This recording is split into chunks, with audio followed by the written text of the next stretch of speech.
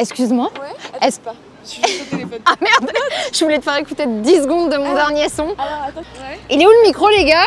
Mais non, pas grave. Et je dois faire quoi?